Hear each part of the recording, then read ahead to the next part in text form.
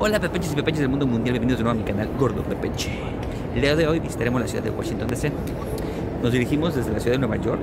Fue un trayecto de 4 horas 40 minutos aproximadamente. No crean lo que dice el, los letreros del camión de que es 4 horas 20. No, no es así.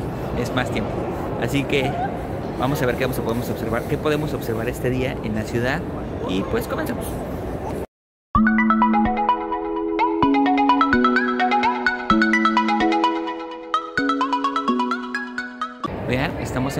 Union, Station de Washington.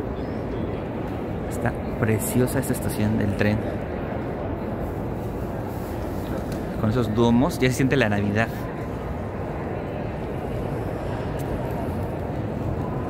Esas estatuas. Nótese lo primero con lo que uno se topa saliendo de la estación del tren, el Capitolio. Veamos la estación del tren desde afuera.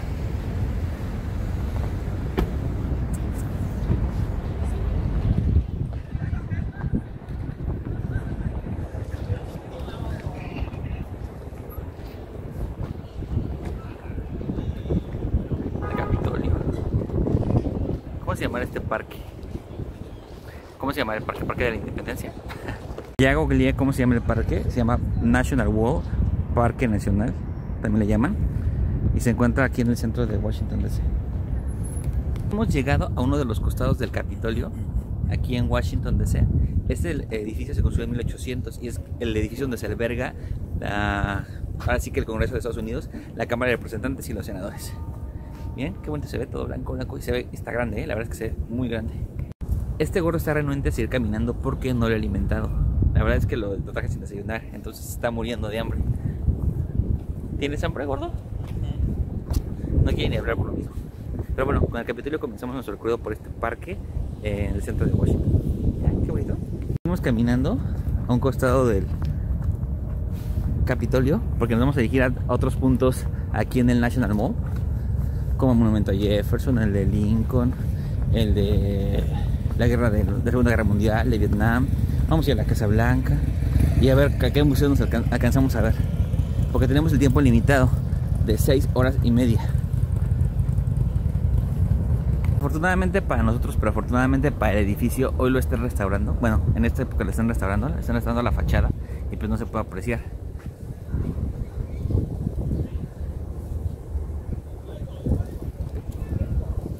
Pero sí se ve grande, majestuoso el lugar. A los que se preguntaban qué era lo que estaba pasando, está llevando una, un proyecto de restauración y preservación histórica del exterior. De ese lado todo lo que vamos a caminar para llegar al monumento a Washington, que es ese obelisco que está arriba, que este gorro pensaba que era un obelisco egipcio, netamente egipto, egipcio. Perdón. Hicimos una apuesta que perdió, va a pagar todos los hoteles del próximo viaje. Entonces, este, por andar ahí de, de por, por ser seguro y confiable seguro. Vean ese payaso que nos encontramos aquí en Washington. Un, un payaso motociclista. Vean.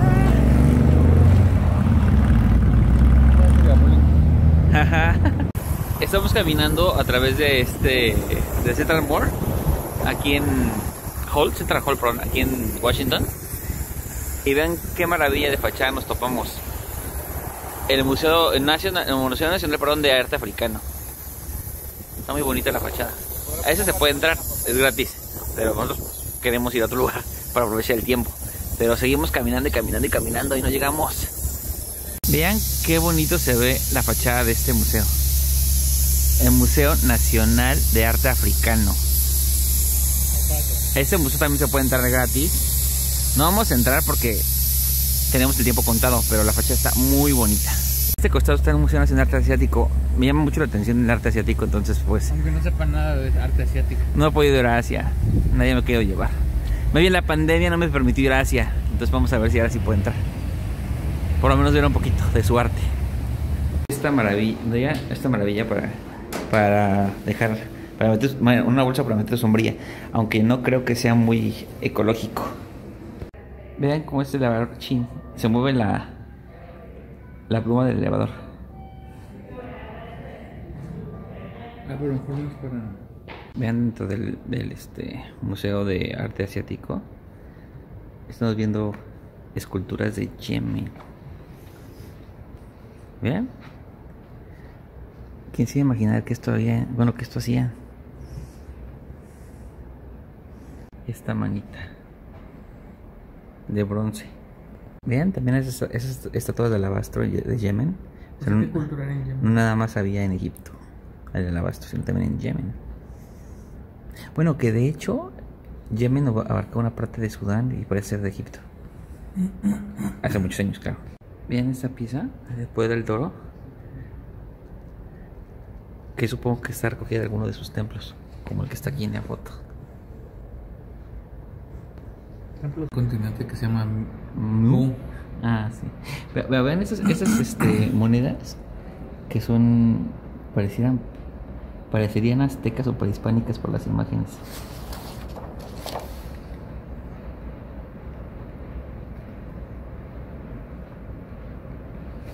A ver si parecen más como persa o, o siria, pero las otras no.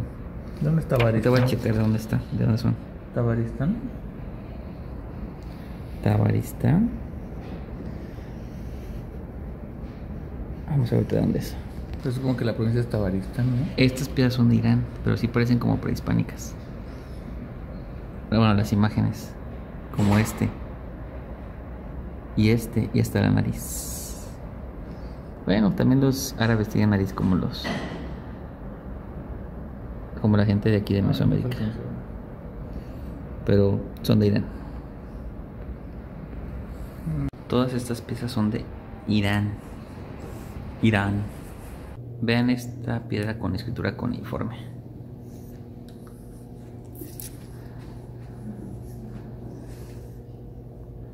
Según eso es una inscripción del rey Darío, que era persa. Esos cuernos para tomar vino y un malvado felino. Bueno, son tres malvados felinos. Parece un lincer tlaxcalteca. no, es para beber. Ah, esos objetos son para beber y creo que se llaman, alguien dice que se llaman Rita, de griego. Opulence. You own everything. Vean esta jarrita de oro. ¿Cuánto costará? Vean este pulpo de cereal de los este, reyes presas. no, no sé para qué sea. En este museo también podemos encontrar dibujos japoneses. Son puras obras de dibujos. Como esta. Que se llama eh, competencia de escaleras o algo así. Career ladder.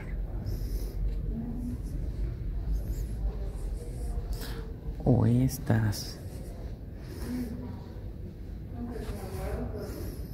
¿Ah? Vale, con su forma de hacer dibujos. Vean estos.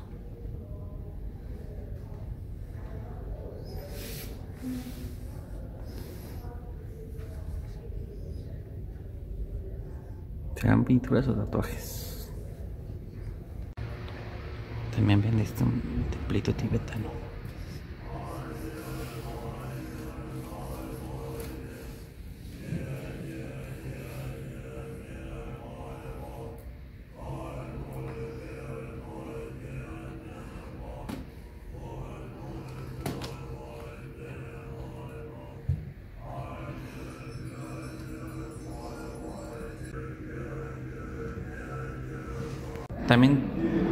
También tienen una zona dedicada a Tailandia. Que nos recibe con vasijas. Vasijas hechas, bueno, sí, vasijas espirales. Hechas de. No sé. Bueno, nos recibe con vasijas hechas de algo. El museo está un poquito complicado porque hay elevadores y escaleras y no sé para dónde te llevan.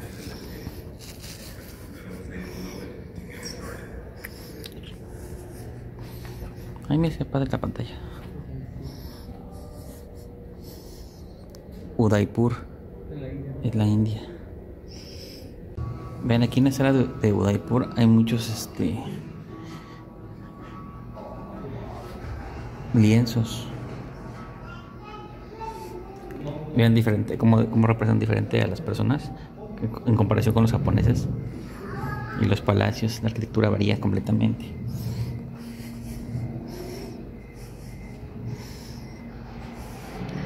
Detalles de las caras, los animales que representan. Mira, aquí alimentando cocodrilos o caimanes, sus palacios gigantescos.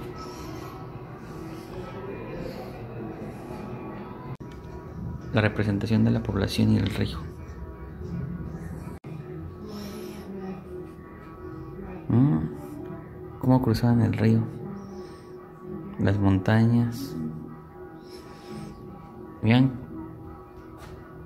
cómo representaban los truenos.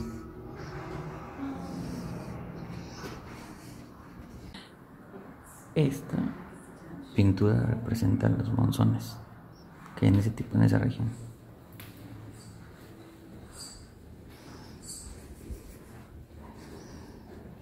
De hecho se llama A Monumental Monsoon. Ese tipo de, de experiencia en la que hasta el sonido te sumerge en, en la fantasía, ¿no? De aquí en este caso de los monzones que hay en la India. Con estas mega pinturas. Vean este mega cuadro de un palacio.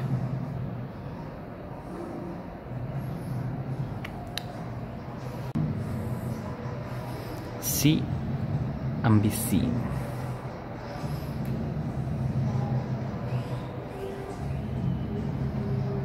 Este gordo me hizo observar algo, un detalle que no había notado. Que aquí todos ponen, en estas pinturas siempre el agua es como gris, negra, bueno, medio negra, gris. Sí. Yo creo que o no, el agua por allá no debe ser así tan este, azul o turquesa o, o es esmeralda como en el Caribe o en otras partes del mundo. Aquí otra vez el agua negra. Sí, yo creo que es en turbia, por tanto movimiento o por tantos cadáveres que arrojan el agua en algunos ríos. Ah, no creo que nada más es en el Ganges, ¿no? Neta, ahí el agua también es gris. Como que sí la representan. Sí. Si alguien sabe por qué, explíquemelo. Dejan un libro para que lo puedas ojear. Sobre las pinturas de aquí. Aquí está pegado. Ábrelo. No, Sí, está pegado. no ábrelo.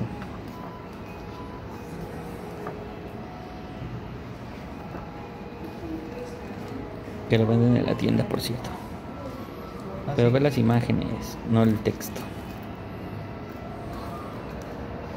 Ah, gris. Para los que les interesa mucho el arte hindú, de. ¿Cómo se llama el lugar aquí? Udaipur. ¿Hindur? ¿O Hindur? ¿Cómo?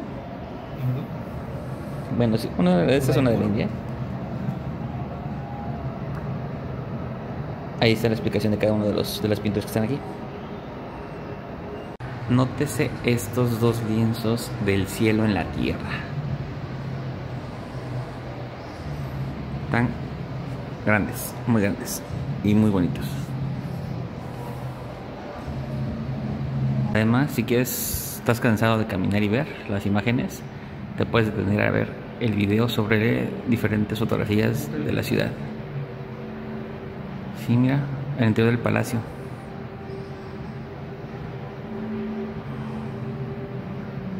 Ah, sí, es súper padre. Daipur creo que se llama. Udaipur. Ah, el palacio por dentro. Es que India está bonito, pero... ay. A la India en general. Así como se ve de verde es como se transforma la ciudad después de un monzón. De un monzón, o sea, cambia completamente la vista, se hidrata y se ve verde. ¿Y quién vivía? Se ve bien bonito. No sé cómo se llamaba.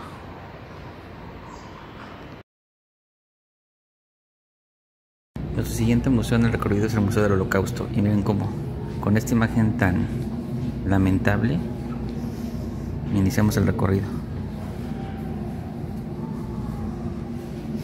Al, al entrar al museo, puedes obtener una de esas tarjetas, es una tarjeta de identificación, donde te presentan la vida de una de las personas que sufrieron por el holocausto. En este caso me tocó la tarjeta de Mixilao Madewski, un joven polaco que murió durante la Segunda Guerra Mundial. Esas imágenes son reales de cuando fueron liberados.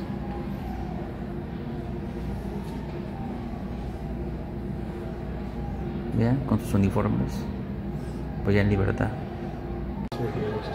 En menos de 12 años, dos terceras partes de la comunidad judía de Europa murieron debido a la Segunda Guerra Mundial.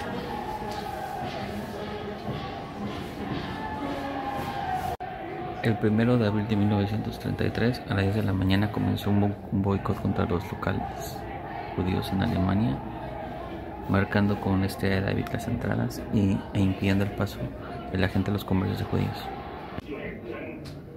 En, el, en la primavera de 1933, más de 25.000 libros fueron quemados en Berlín por, por contener eh, información en contra del régimen.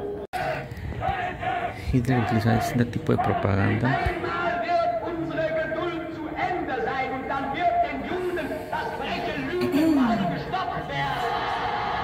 para acabar con la comunidad judía y motivar a la gente de alemana que lo subiera. Además, nótense cómo estudiaban, bueno, cómo tenían clasificada a la gente por color de cabello, color de ojos, dimensiones de la nariz, de la cabeza.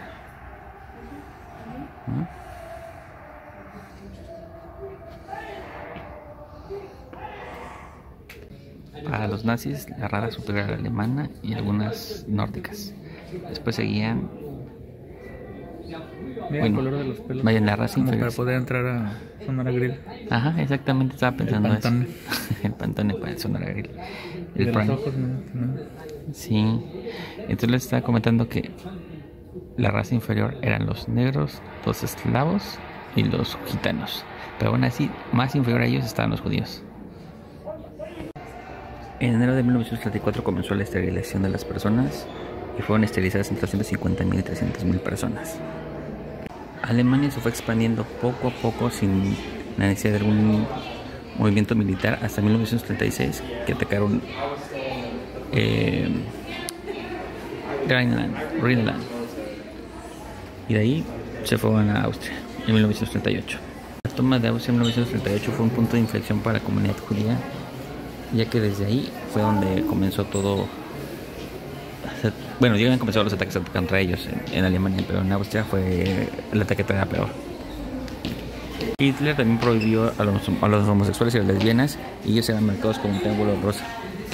Después de la noche del vidrio roto de Broken Glass, muchos judíos intentaban huir de Alemania. Unos de ellos atrapaban en un buque hacia Cuba, el cual no los quisieron aceptar, desafortunadamente. Fueron aceptados en Cuba, se regresaron a Europa y algunos a Inglaterra, otros a Bélgica y a Francia y a, y a Holanda, o sea, casi no pudieron separar. Entraron a la guerra, a final de cuentas. Nótese la expansión alemana. En un año, ¿cómo se fue? Expandiendo. Vean cómo los mataban a todos los esquizofrénicos, gente con enfermedades mentales, a niños, bebés, ay no, no, todo. Más de 250 mil personas fueron eh, muertas por el programa de eutanasia. Todo con apoyo de enfermeras y doctores que apoyaban el régimen nazi. Se ve muy lúgubre esta parte con todos estos retratos de personas que murieron bajo el régimen nazi.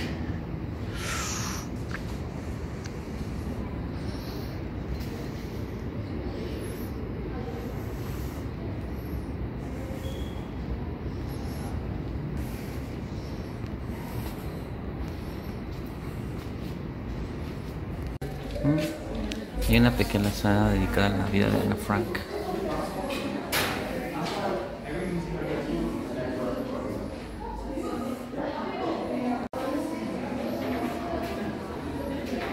Los guetos de 1939-1944 donde se mantenía encerrados los judíos.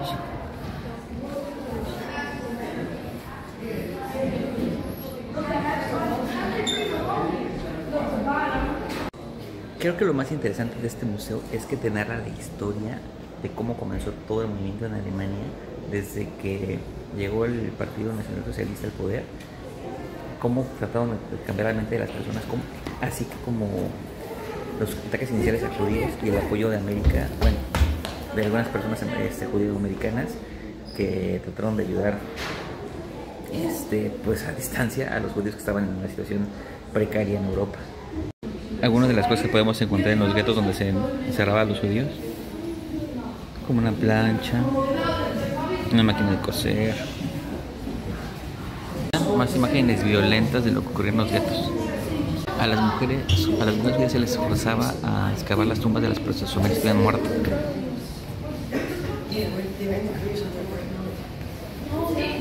Vean esta foto de la familia que fue asesinada en público. Está con la niña o niño. Ay, no. No los torturaban, sino también los ponían a trabajar en los campos de concentración.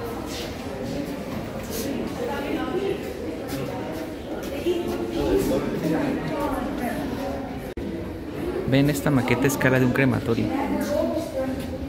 ¿Ven? Ay, no, imaginen la vida real.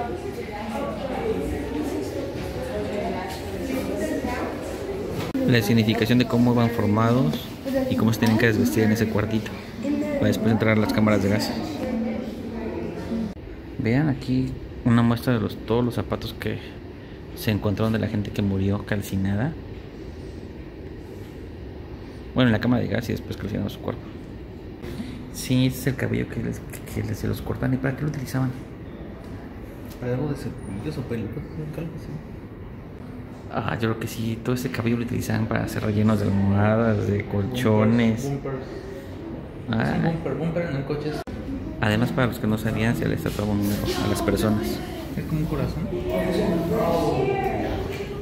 ¿Quién sabe? A lo mejor, a lo mejor se tatuó el corazón. Son sobrevivientes, yo creo que. También se removía de, la- de los cadáveres, además del cabello, todas las civilizaciones de oro, coronas y demás, para que después este, se llevara a la cámara de... Bueno, al Banco Central de Alemania. Tuvieron mejor suerte que otros. Por ejemplo, los judíos de Dinamarca fueron llevados a Suecia, rescatados por los suecos.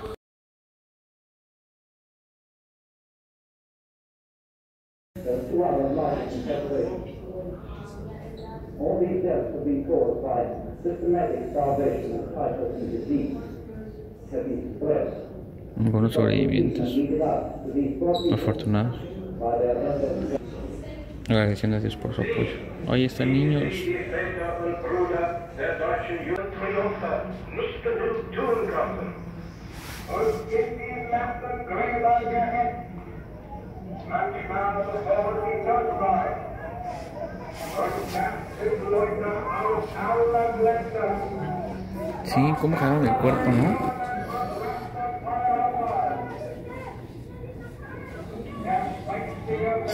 Todos carros, no manches.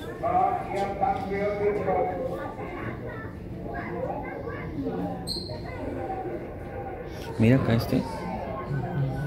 ¡Ah! Ay, no, qué horror. No, que ellos mismos los hacían que los cargaran para el hoyo, ¿no? Ay, no, horror. ¿Estaba caminando todavía?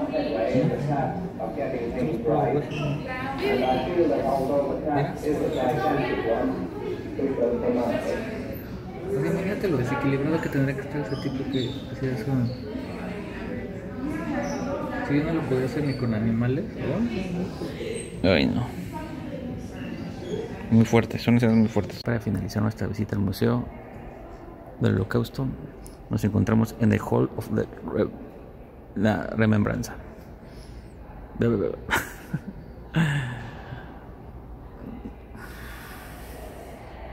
Bueno, acabamos de salir del Museo del Holo- del Holocausto aquí en Washington. Gordo, ¿cuál es tu primera impresión del museo? Está bonito. ¿Cuál es tu primera impresión del museo? Está bonito.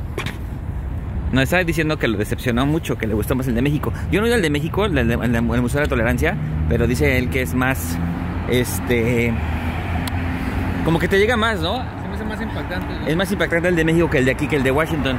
Entonces, pues vengan y digan, los mexicanos que vengan, pues, pues, conozcan los museos y nos den sus opiniones. Pero como otros dos genocidios, o tres, no me acuerdo. Ah, el de México. Este, este genocidio de aquí está muy chiquito. Ah, bueno, es que también aquí, bueno, no, no lo grabé, pero el del holocausto también tiene otro genocidio que pasó en Myanmar. Eh, la sala está muy pequeña y la verdad no se ven muchas cosas. Se ven nada más la zona de las como fotografías con casas quemadas. Quiero ver cosas morbosas así de cadáveres rodando. Ay, bueno, no quiero ver cosas morbosas, pero no se ve tan impactante. Yo la verdad no conozco el, de- el Museo de la Tolerancia en México, pero me han dicho que sí es muy, muy, muy impactante. Y este no lo es tanto. Bueno, nos dirigimos al último museo del día de hoy, que va a ser el Museo Smithsoniano de Historia Natural. A ver qué tal está. Lo vamos a correr muy rápido porque ya no nos da tiempo.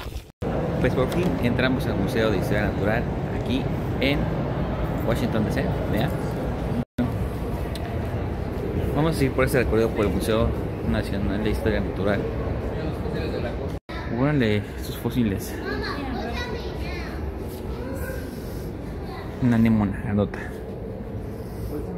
Ah, no, es una monita.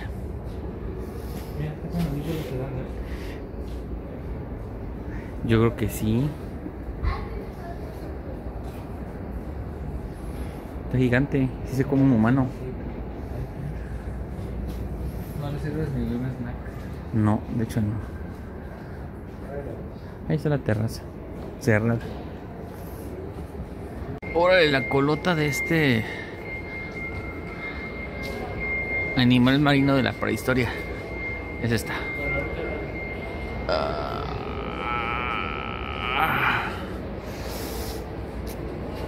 Está gigante. ¿Qué me dijiste que era esto, Manuel? Una conchota. Dijo que era una concha, es un capazo. Se ve que no dio las tortugas ninja. Yo quiero ver a los reptiles, quería los dinosaurios. Vean esos pecesotes. Sí, parece una dolly, ¿no? Vean la distribución de los patos en el mundo. Pero no era, no era la distribución de los patos en realidad, no sé qué. Yo creo que eran los corrientes de agua. Tal fossil, fossil hole. Y no es el de los relojes.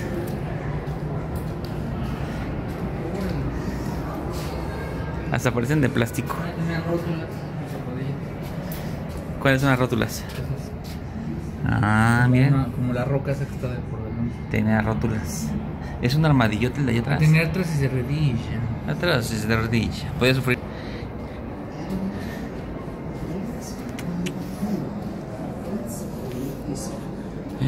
Vean este.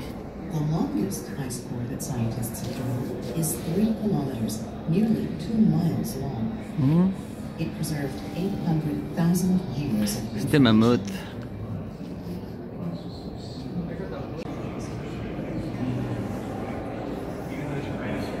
Dijo este Manuel que esto era un mamut. Se ve que no sabe nada de dinosaurios.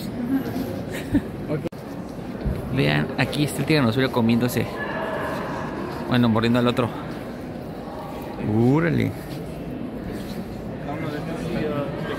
Sí, a uno de esos, que no me acuerdo cómo se llama. Diría tres cuernos en pie pequeño. Estos otros dinos.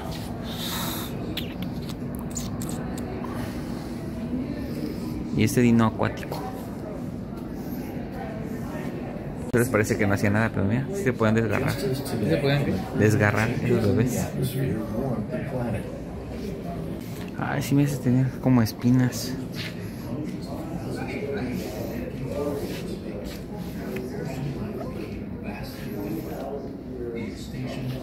Solo por si lo querían morder. Igual.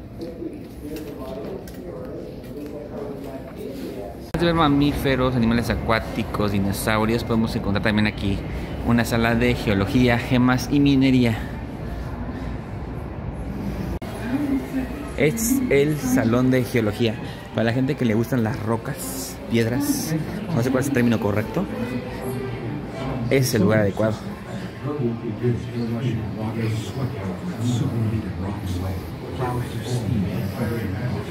Dice que es un meteorito que cayó en Chihuahua, México, en 1867.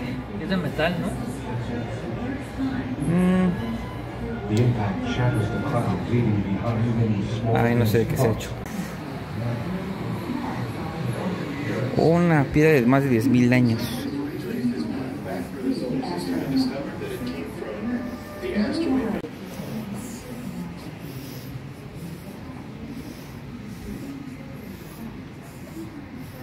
Mm, petrificaciones, ¿no? De troncos. O piedras este, volcánicas también. Podemos ver aquí rocas volcánicas. Podemos ver aquí también ropo- ro- rocas volcánicas.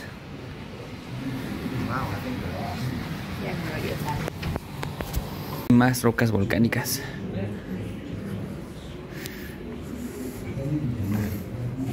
Es granito, luego, luego se nota. ¿Pero cómo tiene esas formas? Ah, sí, no recuerdo cómo se le llama eso. Las capas, ¿no? Que dicen capas. Las fallas, ¿no? Todas. Ah, sí, se parece. Los, todos los patrones.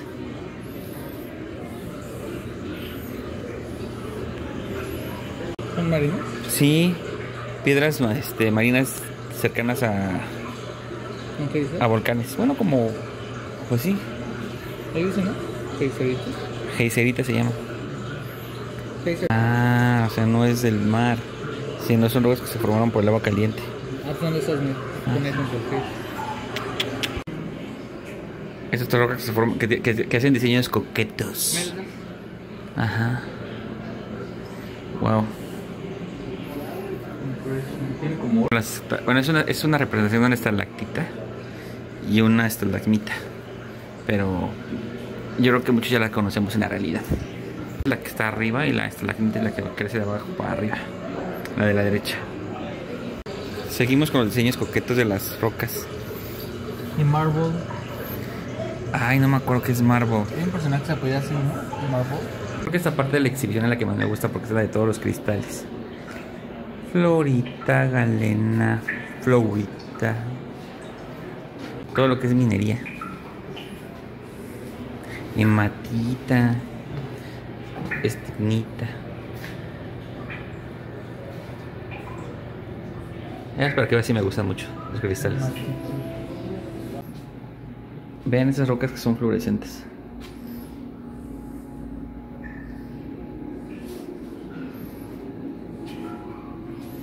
Estas, esta es una maravilla. Bueno, antes se prendió la luz, pero sin la luz se ven fluorescentes. Esta parte me maravilla por lo fluorescente. Otras Ah, es de más. México, mira, de Guanajuato. Ah, sí es cierto. ¿Esas fluorescentes de dónde son? Opulence.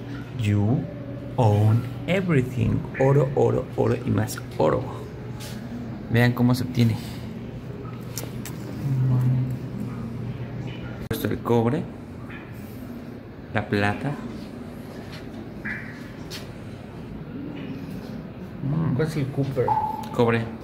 Más gemas. Ay, no, qué bonito. Vean. ¿Cómo, es, cómo, está, ¿Cómo está el mineral y cómo está la piedra ya que está, que está pulida?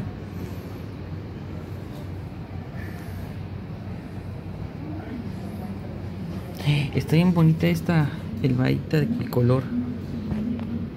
Bueno, tornasol. Turmalín. Qué hermosas.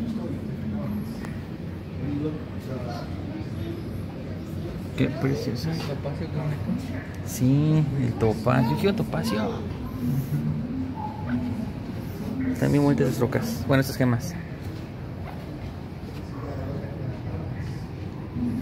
Ay, también está bien bonita esta.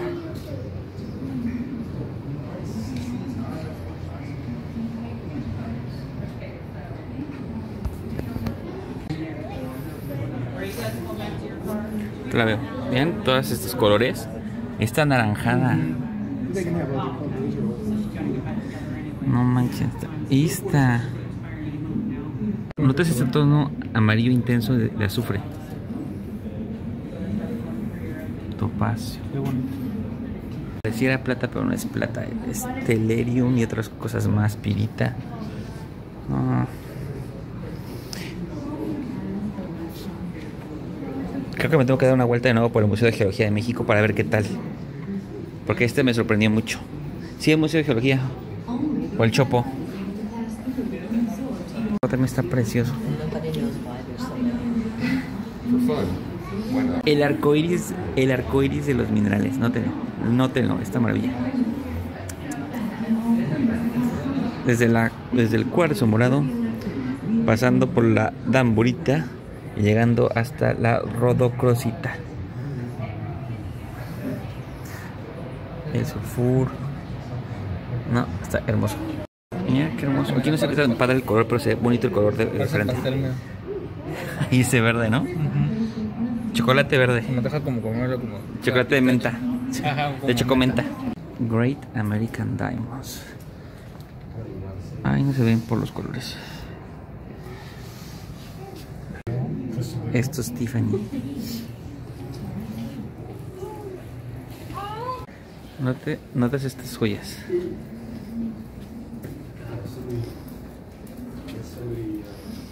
O sea, todo lo que se puede apreciar aquí en el Smithsonian. Bueno, en el Museo de Historia Natural.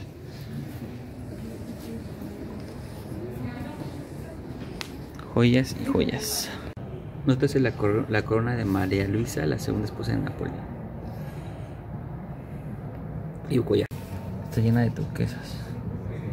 Y mira la del cuello. El cuadro sí son diamantes. Esto también nos muestra una sala de mariposas y plantas. Estamos viendo por arriba la sala de mamíferos. La sala de huesos, momias e insectos. Vamos a entrar aquí y tienen la parte de una colección de Egipto. Órale. Huesos. Y más huesos.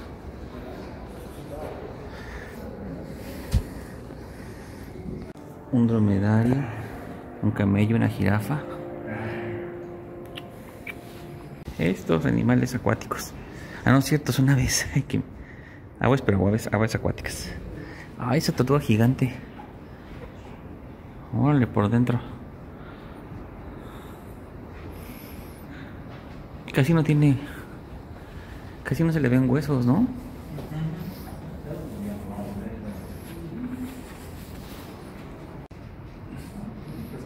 Peces pescadotes.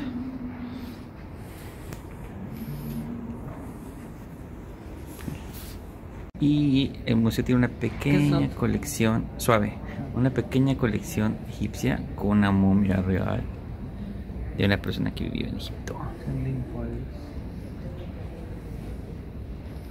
Eh, Con amuletos, el ojo de Horus. ¿Y eso por qué no sacaron los órganos?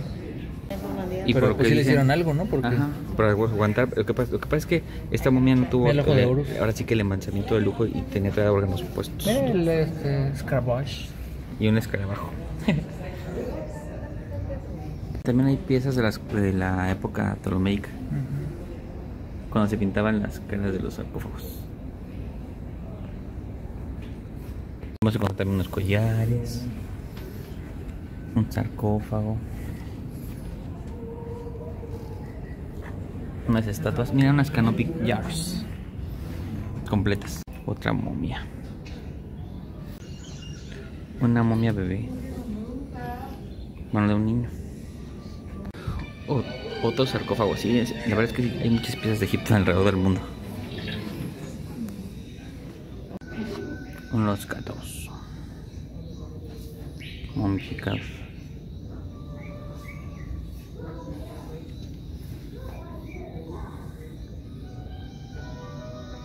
También hay una serpiente momificada, un cocodrilo momificado, sí, un halcón y unos gatos por allá. Miren las ofrendas al dios Sobek, este cocodrilo.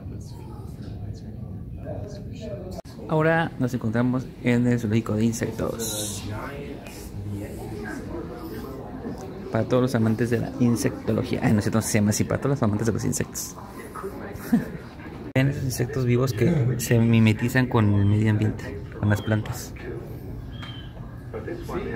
Curiosísimo que la reina de esta, bueno, la reina eh, hormiga deja sus ovecitos en esta planta que se llama acacia, que le vemos aquí que está chiquita, y después ahí crecen y se reproducen. Este mariposario, y también ahí tienen sus, este, sus capullos, Es cucún. sus cocoons.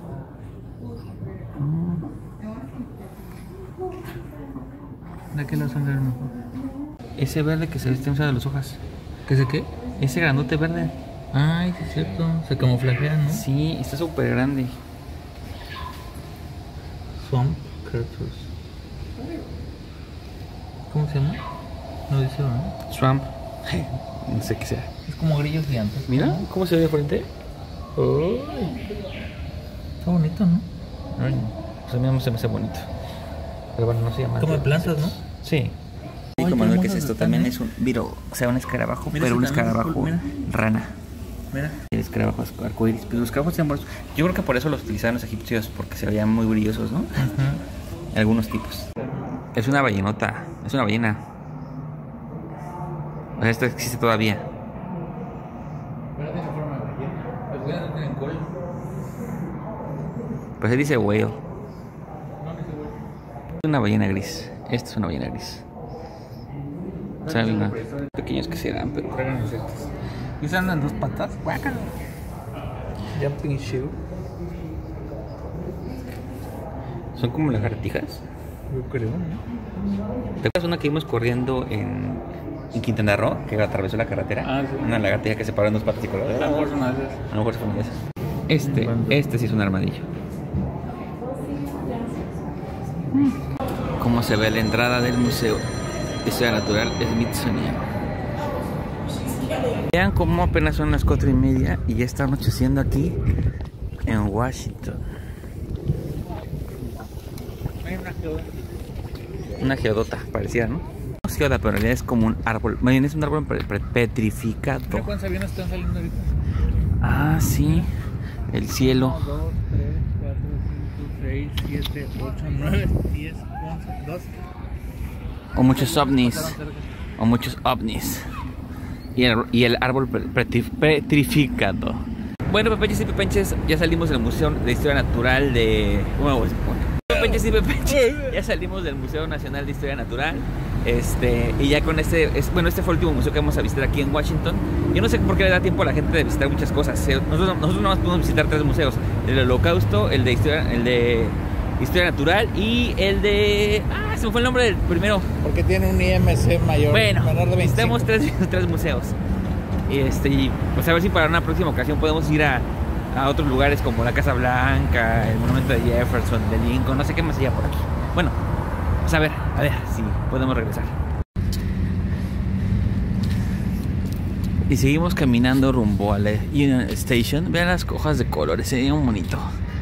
Esas rojas. Sí, se ve roja por la, lu- por la luz, pero en realidad a ser naranja, ¿no?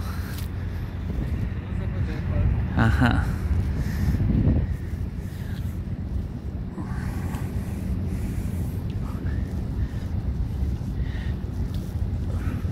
Con esta imagen final de Washington nos despedimos de este video. Espero que les haya gustado. Por favor, denle un like, denle click a la campanita. Suscríbanse al canal los que no se han suscrito.